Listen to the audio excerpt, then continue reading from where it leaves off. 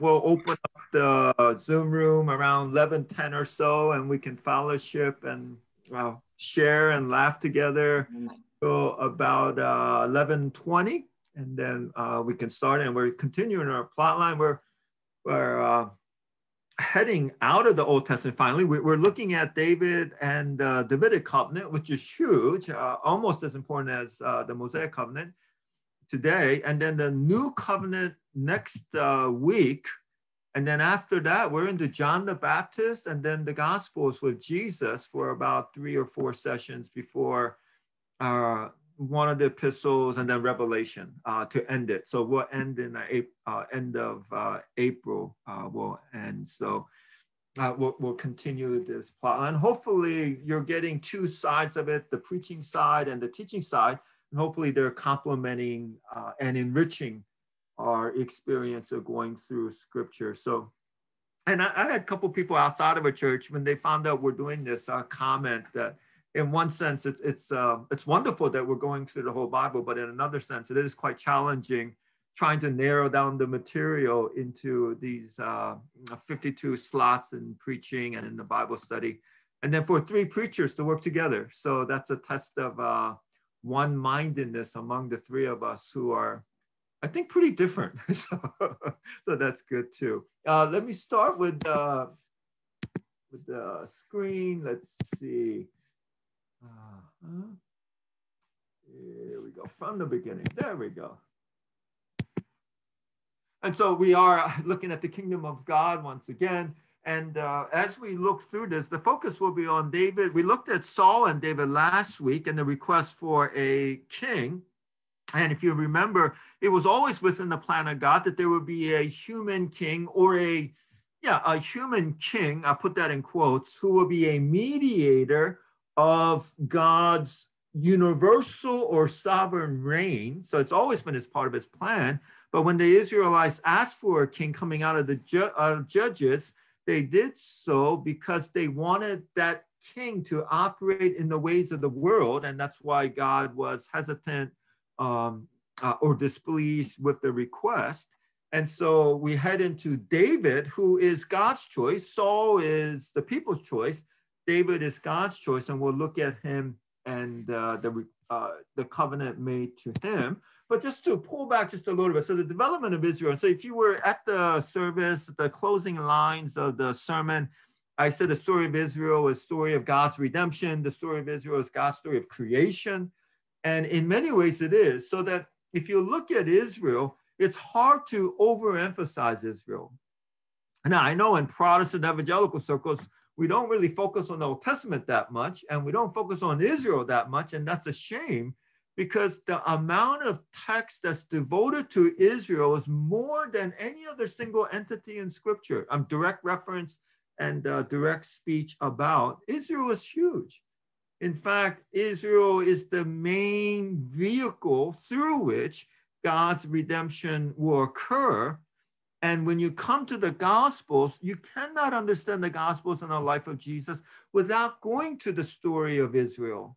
And so uh, that's it's hugely important for us to uh, gain clarity on them. And so I just have this chart up there. The beginning, the family. Jacob has 12 sons, right? So it's a family. It's a way in the beginning.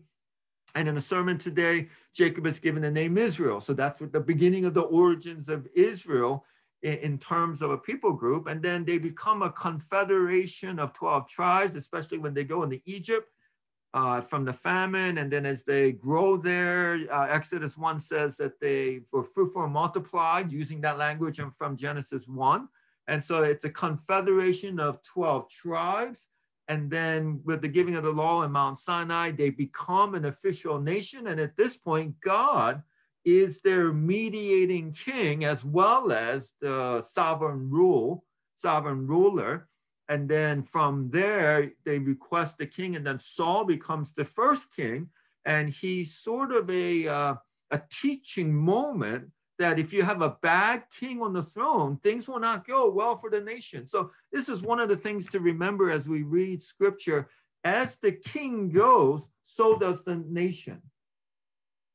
The measurement for how well the king goes is his ability to replicate the reign of God over the world in the reign over the nation. That's how it's measured. And so when you have a righteous king, the land is blessed. And I know I did this way in the beginning, but that's the Lion King theme. And I, they do it beautifully, right? When you have a wicked king on the throne, the land is cursed. When you have a righteous king on the throne, you have prosperity and blessedness in the land. And so David is uh, God's choice. And when David is on the throne, a righteous king, what you have is blessedness in the land. And then all of these promises uh, and sequence is pointing towards the messianic kingdom. They're looking for a future son of David who will reign over the entire world through Israel. And so, under God's reign, this king, the king, will be mediating God's reign. And so, hang on to that. That's where we're headed with the Gospels. And then we want to take a look here. So you have the universal reign of God, a universal redemption. So he's healing or reversing the effects of Adam's uh, eating of the fruit. And the main characters are Abraham, and then Moses, David, and then the Messiah are the main mediators of the covenant through which God will reverse the uh, effects of the fall from chaos back to order. And the first Exodus, so uh, the Israelites being led out of Egypt into the promised land, and the shedding of the blood of the lamb and putting it on the doorpost, all of that is the first Exodus. And the Bible, especially Isaiah, uses the first Exodus as a model for the second Exodus or the final Exodus, where uh, Israel these would be all the nations who are in Jesus Christ. So that's Israel in quotes, who will be led out of the world through uh, the blood of Jesus, the lamb that takes away the sins of the world. And we are being led out of uh, the world into the wilderness, headed towards the promised land. That's New Jerusalem, uh, Revelation 21 and 22. Now, the church, right now, you and I, we're part of this new Exodus and we are in that uh, the wilderness stage. So we're aliens and strangers and sojourners in this world as we're being led by uh, the Messiah into the promised land. So we're waiting for Jesus to return so that we can enter into the promised land. So the, the thing to remember is when we look at metaphors for salvation, the primary biblical metaphor for God's deliverance is Exodus. That's the imagery, not the lifeboat imagery. So, you know, I, I see that here and there within evangelical theology where, you know, the world is going to hell, but uh, the church is like the lifeboat and we're trying to uh, pull people into the lifeboat. And then one day God will sort of, uh, oh, James T. Kirk, so he will um, transport the, the boat uh, into heaven, sort of. And, you know, while there's some truth to that, the more proper metaphor is the Exodus one. And when we come to the Gospels, we will see how the writers portray Jesus as the new Moses leading his disciples from the world into the promised land. And so that's the better metaphor. Now, the point one, there's three points here. The primary responsibility of the king is righteousness and justice. That's the two primary. It's not building military um, armies or making chariots or saving money uh, in the treasury. It's righteousness and justice. I want to talk about that a little bit because that's how the future son of David king will be recognized. The messianic king will be re recognized by how well he uh, delivers justice and how righteous he is. So the primary responsibility of the king is righteousness, justice. Now, uh, in the Greek New Testament, it's the same Greek word that's translated for righteousness and justice because there's a lot of overlap, dikaiosune. But in the Hebrew, it's two different words, one for righteousness and one for justice, but they overlap. So there are a lot of passages in the Old Testament where it says justice and righteousness because there's overlap.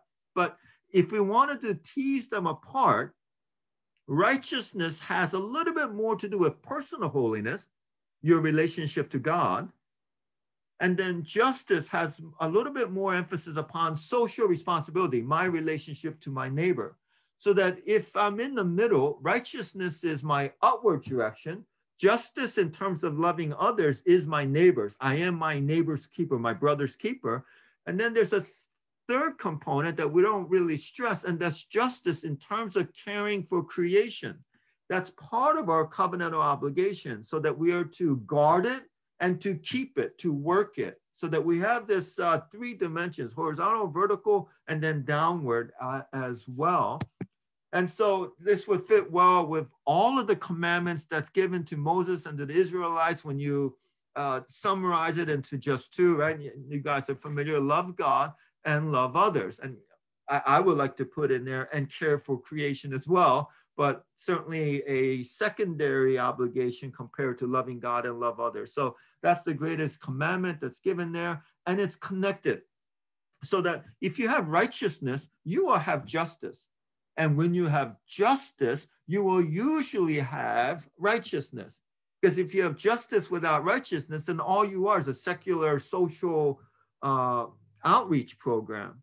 But in terms of God's scheme, if you are righteous, you have to be justice because that's part of God's desire for you. And if you are just just, that's a reflection of your holiness before God. In the same way here, if you love God, you have to love others. It's connected. In fact, First John, right, chapter three. If you love God but don't love your brother, it doesn't work that way.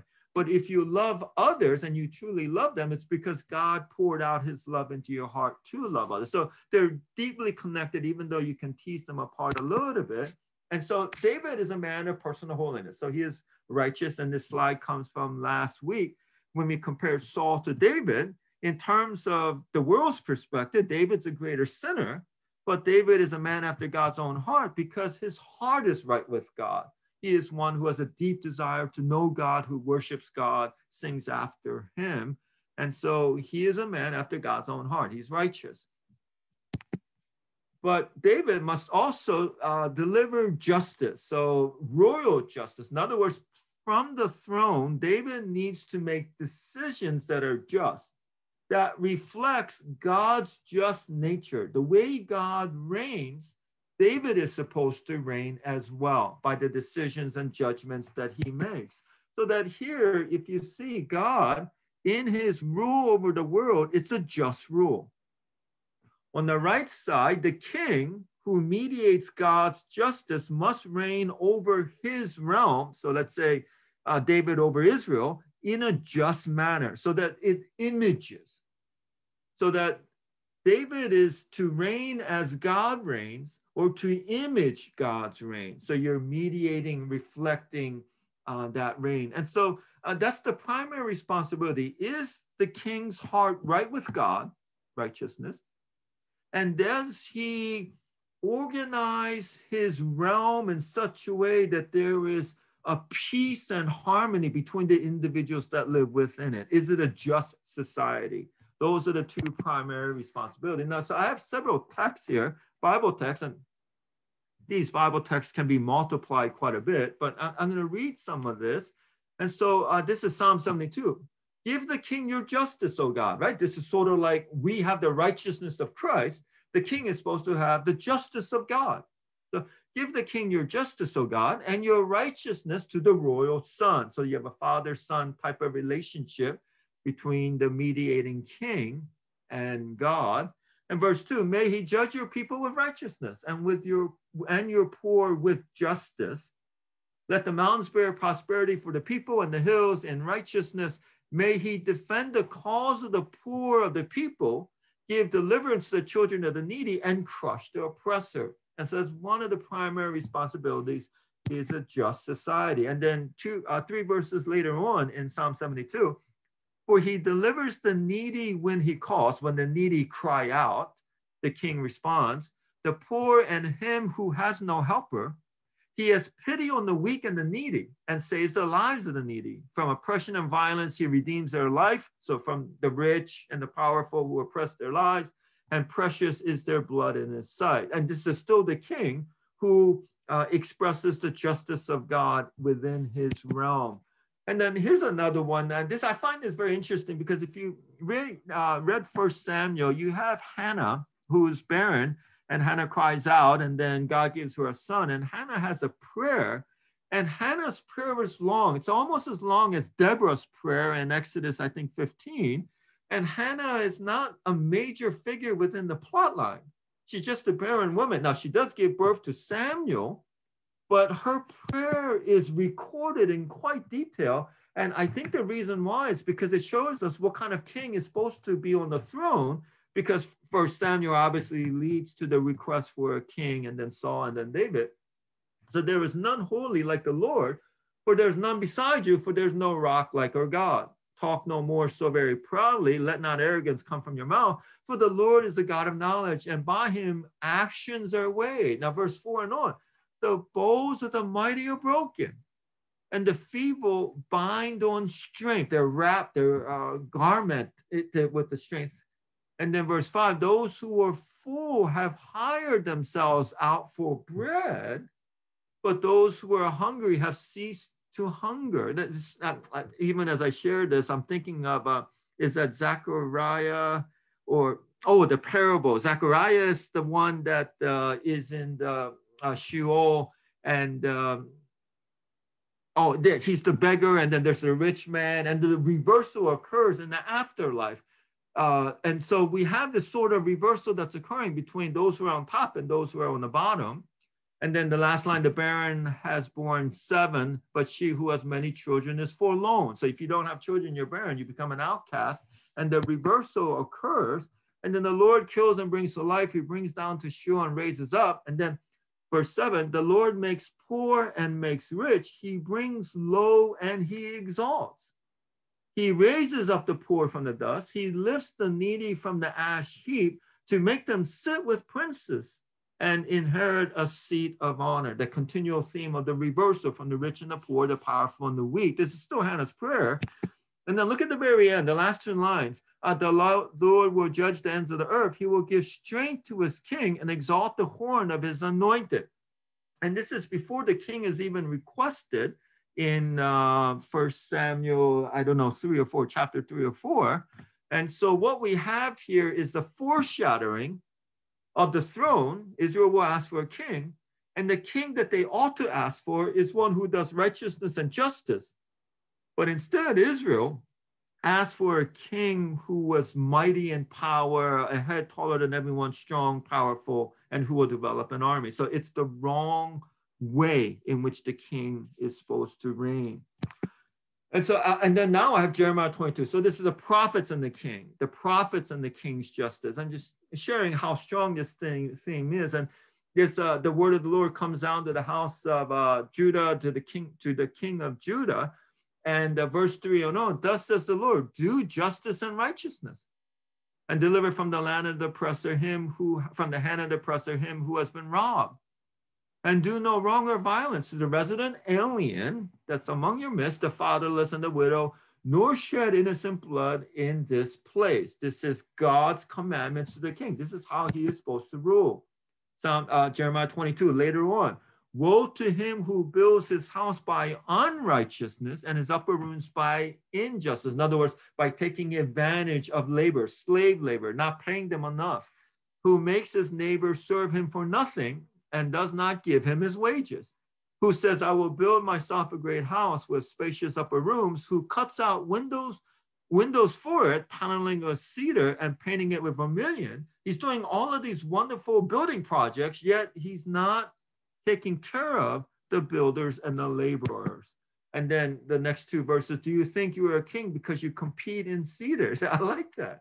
Do you think you're a king because uh, you have the mightiest chariots and the biggest um, um, Uh, uh, mansions and uh, throne. No, uh, did not your father eat and drink and do justice and righteousness? See, that's what makes you a king by doing justice and righteousness. Then it was well with him. He judged the cause of the poor and needy. Then it was well. Is not this to know me? And that's a crucial line there. See, that's righteousness to know God, and then justice, taking care of the poor, are overlapped. They're connected. So that if you say you know God, but don't care, take care of the poor, then you really don't know God. And once again, this is First John chapter 3. How can you say you love God when you don't love your brother? It's connected together for the citizens of God's kingdom as well as the king himself. But he's the one that is supposed to model it and then render judgment upon his realm so that uh, justice reigns. Now, uh, the, the last one, and I'm still, it's the same thing, but I want to do this because it's Bathsheba and the king's justice. Because you know the Bathsheba, uh, Bathsheba scene, uh, he looks out on the window and sees a, a woman bathing and he's enticed and he falls into temptation. When Nathan comes to call out King David, he does it not in terms of his adultery, not in terms of his murder, but in terms of his injustice. And I find that fascinating. So if you look at verse four and on, you know, this is Nathan's story about the rich man that comes and uh, he's got all this sheep and this poor man who had this one sheep that he treats like a family member. And this rich man oppresses the poor man by taking his one sheep. So look at verse four.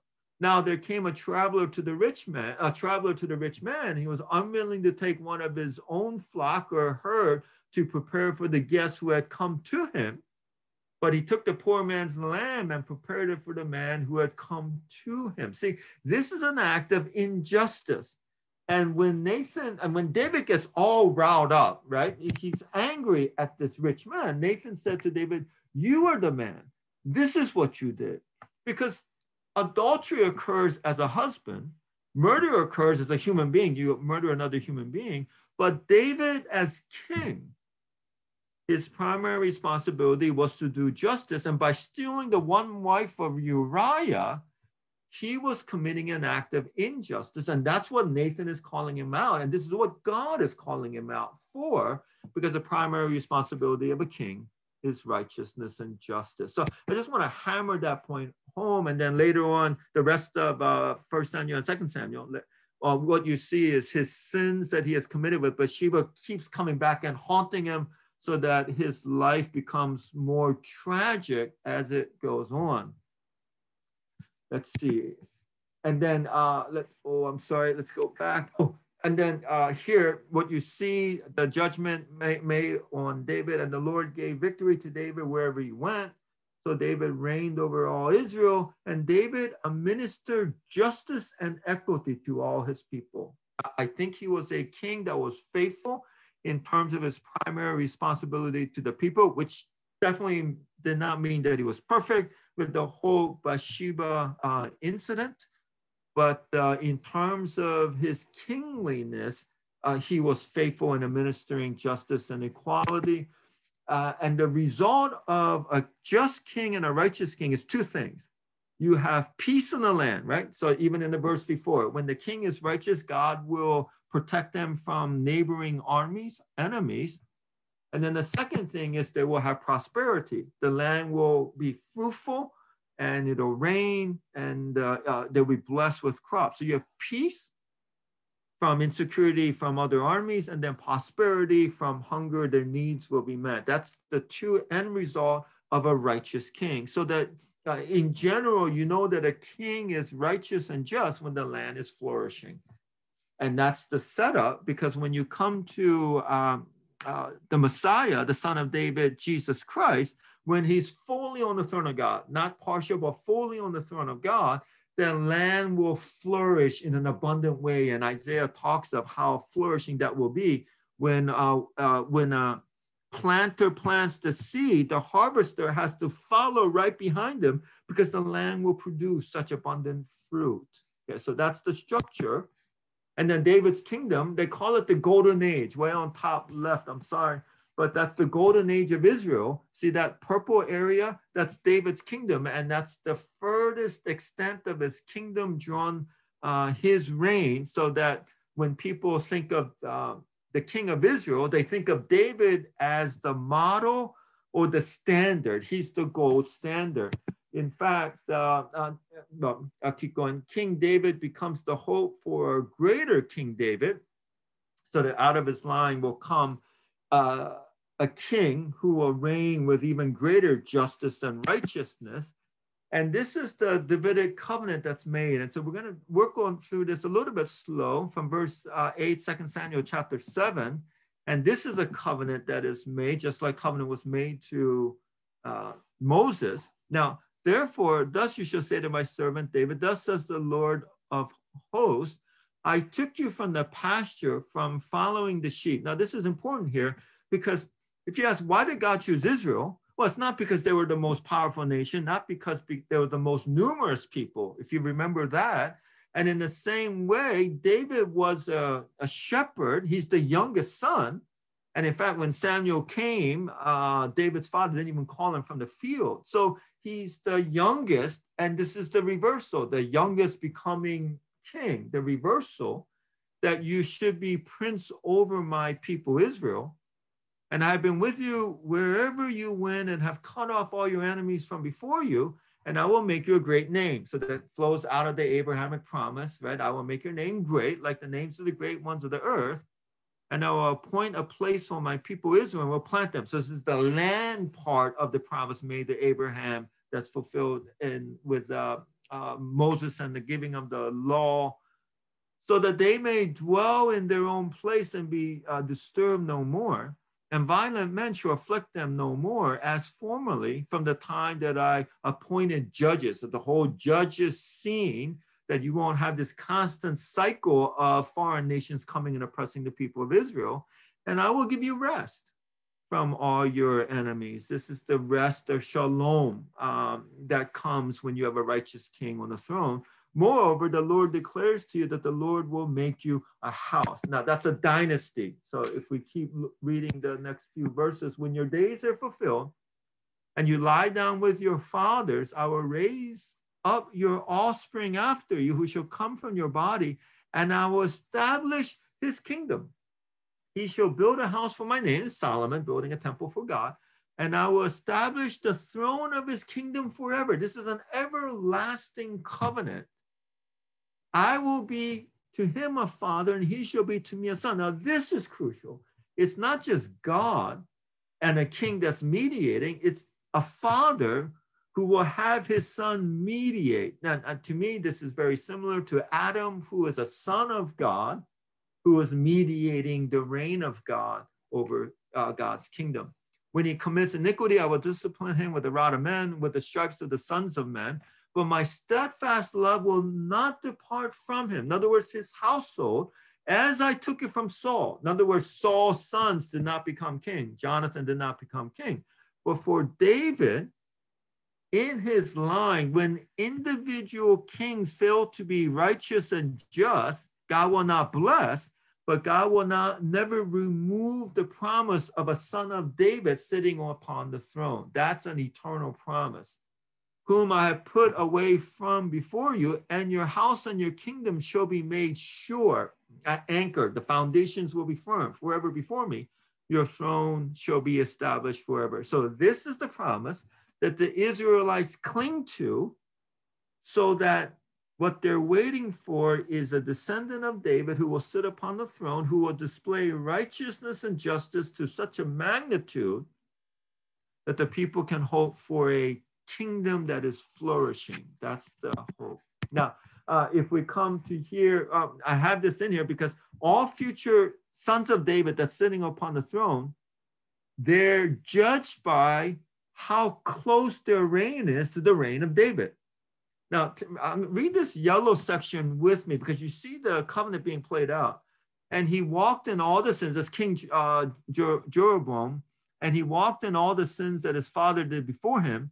And his heart was not wholly true to the Lord his God, righteousness, as the heart of David his father. Nevertheless, for David's sake, the Lord his God gave him a lamp in Jerusalem, setting up his son after him and establishing uh, Jerusalem in other words, the descendants will continue to come from David, even though individual kings will not be blessed when they do not display righteousness and justice. Verse 5 because God did what was right, or sorry, because David did what was right in the eyes of the Lord and did not turn aside from anything that he had commanded him all the days of his life, except in the matter of Uriah the Hittite. Because David was faithful, God made this promise that his descendants will sit upon the throne forever except in the matter of Uriah the Hittite. Now, what we have in Jesus Christ is a son of David who will sit on the throne, except he will be perfectly righteous. There will be no Bathsheba incident in the life of Jesus. And that's the hope a completely righteous and just king. Now, the last point, we're almost done. In Jesus, all the promises to Abraham are fulfilled. And so this is where we're headed. Next week, we'll do the new covenant. That's crucial.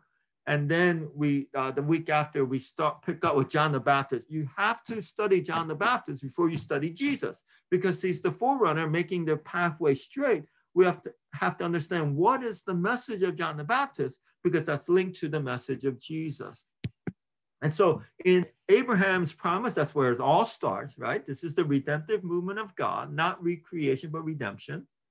And Abraham, the promise made to him is fulfilled in Moses. The people become uh, multiplied, and then land is given through Moses, the promised land. And then in David, you have uh, the, uh, the kingdom of God because you have a king now. You go from a nation to a kingdom. And then the new covenant is the spirit where God will reside in his people so that their righteousness and justice flows through God's grace, not through their human effort. In the same way that uh, Psalmist writes in Psalm 72, Oh God, give your justice to the king in the same way, in the New Testament, when the new covenant is ratified, you can say, Oh God, give your righteousness to your people through the Spirit and your justice through the Spirit. The Spirit of God is the one who will reproduce the fruits of the Spirit, which includes righteousness and justice that belongs to God Himself. In other words, we're, we're not called to love people with their own love. We're called to love people with the love of God. Same thing with justice. We don't, we're not socially responsible with our own sense of justice, but instead we reflect the justice of God through us into our society. And the Spirit of God is the one that channels it. And that's why when you look at the church, you're supposed to see something that's not quantitatively better, but qualitatively better. And that is so crucial because the church is called to love the world with the love of Jesus. And the love of Jesus is qualitatively different than the love that the human beings can reproduce. So that in Jesus, you have the new Moses, and we're going to have a whole section on this. But just as uh, Moses went up to the mountain and he brought the laws down, in the same way, Jesus went up to a mountain and he gave the law of the kingdom, sermon on the mount. He, he is Israel. And that's why he goes into Egypt and comes back out. And there's a lot of uh, connections that we'll look at in a few weeks. And then Jesus is ideal Israel, so that his history is being played out. Israel's history is being played out in Jesus. They're both exiled into Egypt, right? Both have to be in Egypt. And then they both survive infanticide with Herod in the New Testament and uh, Pharaoh in the Old. Both experienced life-changing water experience with the splitting of the Red Sea and Jesus being baptized in the Jordan River. They're both led by the Spirit. The Israelites led by fire at night and cloud by day into the promised land. And then uh, Jesus is led by the Spirit into the wilderness to be tempted, just like Israel was tempted in the wilderness for 40 days, reflecting the 40 years. And then the temptation for 40 years, and then delivers the law on a mountain, just like Moses did. So uh, the history of Israel is being played out in the history of Jesus. Now, I cannot overemphasize this, even though I've already done it in the sermon in here. We must understand what God is doing through Israel because Israel's history is not over. It's still being played out in Jesus, who is the new Moses, new Israel, who is King David sitting upon the throne.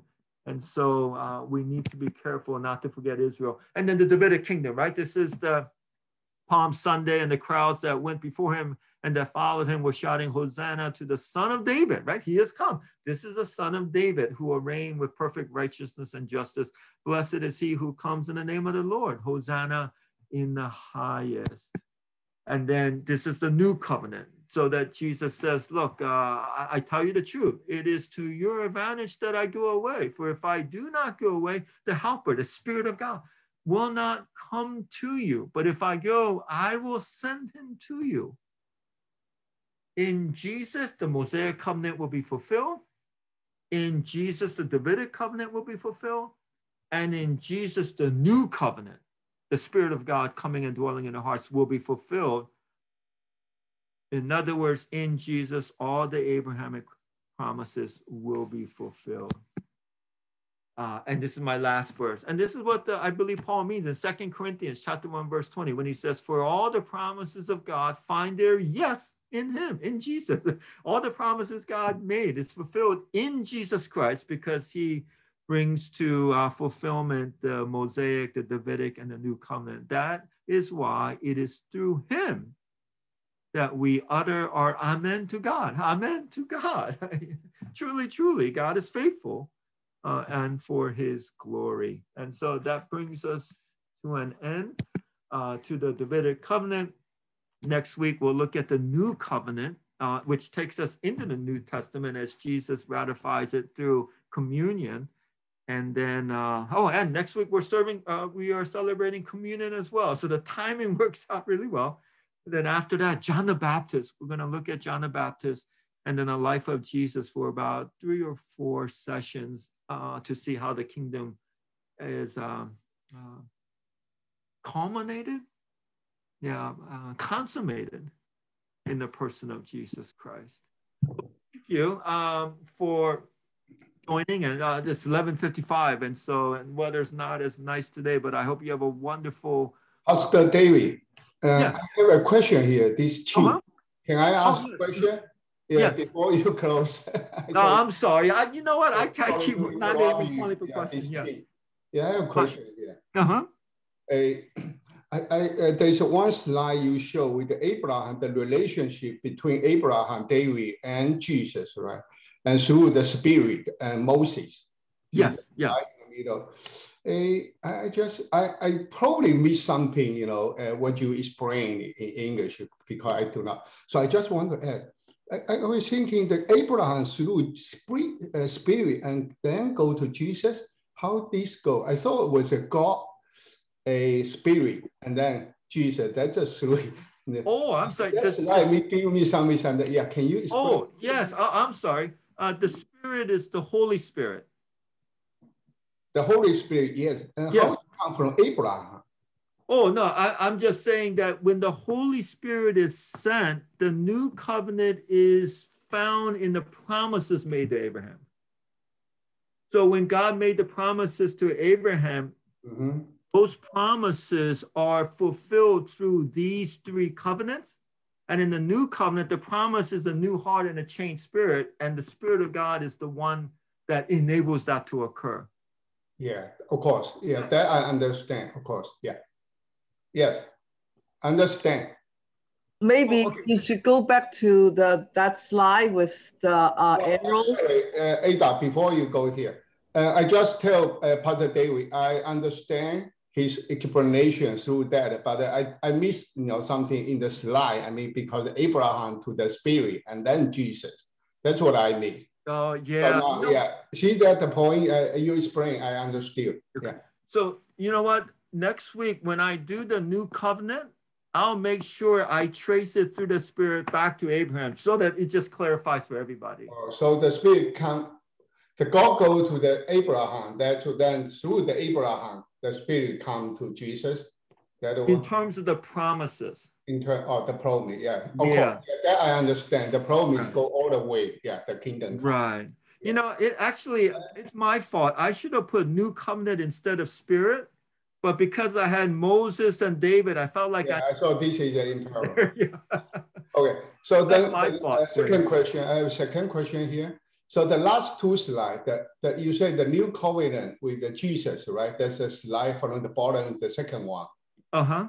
The second one. I, I missed the a, the chapter, book chap which book? You only give the a verse, you know, which verse, but not the book. I just try to get a, a this script. See the slide, if you could show the slide or, you know, yeah. And actually in, um, and, and backward and um, further, yeah, this oh, one. Oh, oh I, I believe that's John 14. I'm so. John 14, oh, John 14. Actually, yeah. by the way, I want to add one comment here. And it was a very good, you know, inspiration sermon you gave. Some of the slides you gave do not have a chap book chapter, just a word Yes. For me, it's a little bit difficult. Sometimes I, I want to look at that even in Chinese because then I could not immediately find it. So it You know, be that's a good helpful point, if Quinn. A, you know, the book chapter is just at the word. Yeah. No, you know what? I will put the book and chapter on each of the slides. Yeah, yeah. S- I know some of them have, some of them without. And then, you know, if I'm not familiar with this word come from, it takes me a while to find. It. Right. Thank you. And- I, I will do that. And then for Bible studies, I'll try to do that for everyone as well. Thank, Thank you. Are you still in Boston? yeah, Oh, yeah. And that was a great sermon uh, this Sunday and previous Sunday. And thank you. uh, uh, thank you. You blessed me, uh, brother. Thank you. All right, everyone. Uh, I will hopefully see you next week and have a, a, a great uh, week and a good a good lunch. So Thank you.